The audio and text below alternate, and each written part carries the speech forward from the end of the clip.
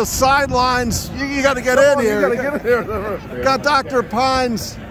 We have our athletic. What, how do we pronounce it now? The Barry The Barry P. Gossett, Director of Athletics. Athletics. All right, uh, guys. Uh, I'll go with you first because I haven't had you on Terp Talk. What's it mean to go to a bowl game?